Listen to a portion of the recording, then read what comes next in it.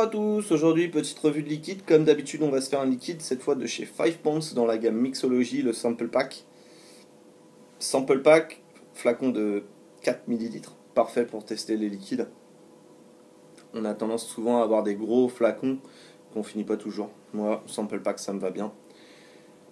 Je pense que même toutes les marques devraient faire des Sample Packs pour les consommateurs, ça serait vraiment parfait. Vous, vous achetez un sample pack, je sais pas, pas très cher, et puis euh, vous pouvez tester tous les liquides et en choisir un ou deux, ou toute la gamme que vous aimez et vous les commandez. Euh, surtout quand on tape dans des liquides à 28 euros, il serait bien que on commence à penser à proposer les sample packs aux clients. Voilà, c'était pour ma petite revue, euh, mon petit coup de bouche pour les consommateurs. Voilà, comme moi d'ailleurs. Euh, aujourd'hui, on traite le Lucena en sample. 6 mg de nicotine avec euh, Yatou. C'est exactement le, même, le, même, euh, le même étiquetage que pour un flacon classique, sauf qu'il fait que 4 ml. On a donc, j'ai un petit peu goûté. on peut le voir, ils sont remplis à rabord. Là, je l'ai un petit peu goûté. Je l'ai uniquement drippé. Là, je l'ai mis dans un Aigo W, montage Hurricane classique. Je vais remettre quelques gouttes.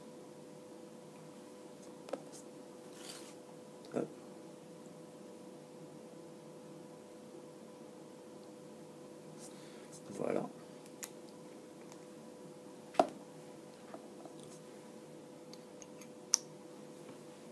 Et on va être parti. Hop.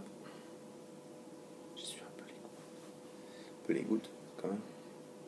Et on y va.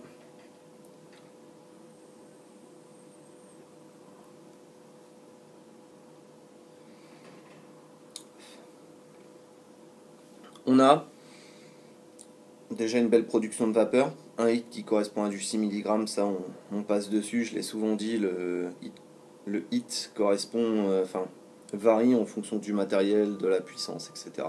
Donc j'en parle de moins en moins et euh, je dis juste que c'est correct parce que je le ressens correctement. Si c'est trop bas, je vous le dirai, ne vous inquiétez pas quand même.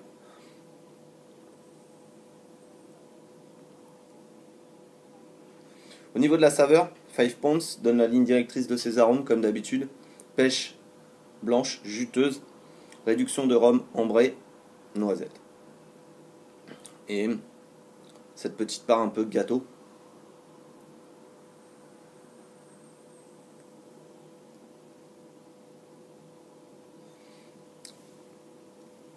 À l'inspiration, vous avez de la pêche et légèrement alcoolisé gâteau, un peu aussi. La noisette vient à l'expiration. À l'expiration, vous prenez une réelle claque de pêche, pêche alcoolisée. Ensuite vient le gâteau et la noisette en fin de bouche, avec ce côté un peu râpeux, qui a ce fruit, particularité de ce fruit à coque, un petit peu râpeux.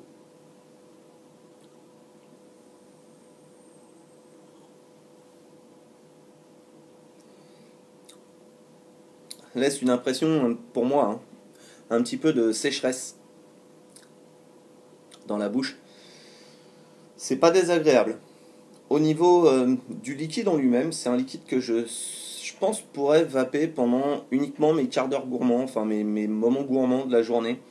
Euh, chacun a son profil, on va en parler dans ce que je vais pas appeler un vlog, mais euh, plus tard je vais vous faire des revues sur ce type de, sur mes considérations à moi personnelles. J'ai mes moments gourmands et là je pense que ça peut rentrer comme le gambit dans un moment gourmand, pas de souci. On a une réelle gourmandise, c'est vraiment une alliance entre un liquide gourmand et un liquide fruité. Ça se marie très très bien. Maintenant, le côté alcoolisé est un petit peu présent pour ceux qui détestent les liquides avec une connotation alcoolisée. Ça va peut-être être un peu compliqué.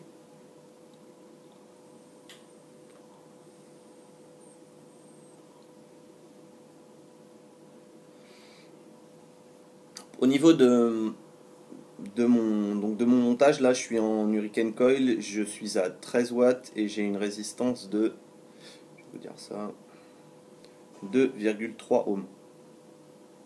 Ça fait une vapeur tout à fait correcte. C'est pour moi un bon liquide, un liquide que je recommande fortement à tous ceux qui aiment les, les mélanges euh, un petit peu particuliers. Un peu comme le Gambit, en peut-être un petit peu moins brutal, plus en subtilité Quand je vais descendre, euh, comme d'habitude avec les liquides 5 points, c'est ce que j'ai remarqué, même avec pas mal de liquides complexes. Quand je descends en puissance, je retrouve euh, une plus grande harmonie des arômes, moins de, j'ai moins un arôme qui se détache des autres. C'est plus agréable. C'est dans l'ensemble pas des liquides, je pense qu'on peut vaper en mode bourrin spécialement, ça fonctionne. Pas pour celui-ci, en tout cas, c'est, c'est pas le meilleur parti pris. On leur fait une petite vape?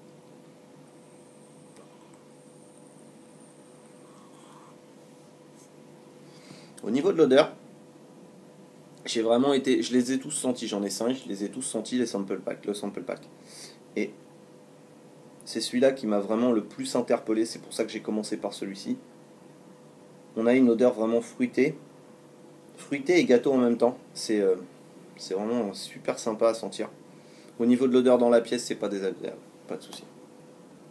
Ça, je le dis parce que j'ai des liquides, moi, qui sont très désagréables. Euh, prenez le ou Grumpy Hooch et tout le monde n'aimera pas que vous vapiez du Grumpy Hooch à côté de lui parce que c'est vrai que ça sent, ça sent quand même pas mal.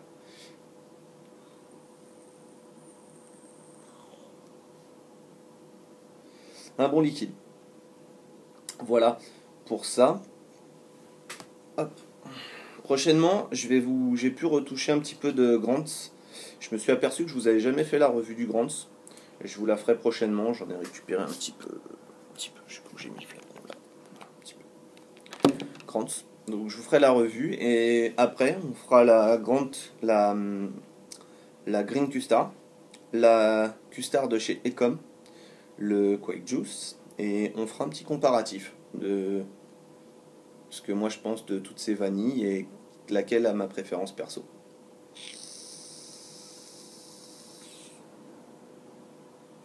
Ça c'est de la grande. Alors je sais elle n'est pas très sombre, moi je l'aime particulièrement jeune. Avec ce petit goût un peu poivré, euh, très agréable.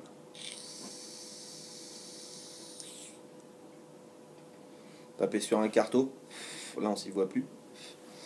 Voilà ce que j'avais à vous dire pour le liquide Lucena, pour euh, le petit, truc sur la vanille qui va venir. La recette de Dai qui arrive, c'est une recette euh, uniquement euh, très bonbon, très fruits, très été. Ça va être sympa aussi. Voilà. Une revue sur. il va y avoir un truc sur le slip aussi, parce qu'on en a beaucoup parlé. Et puis voilà, la suite, comme d'habitude. Voilà. Bon, je me refais une petite vape et je vous laisse tranquillement aller vers d'autres vidéos. Bonne vape à tous. N'oubliez pas le FVI. Et puis, à la prochaine et bonne vape.